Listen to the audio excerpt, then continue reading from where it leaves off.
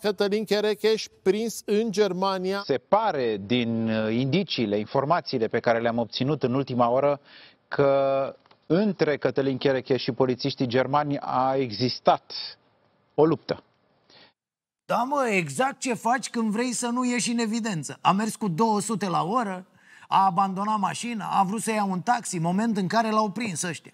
Și s-a zbătut pe semne, că are niște daune pe față. Cred că l-a lovit pe un polițist cu fața în pumn, așa.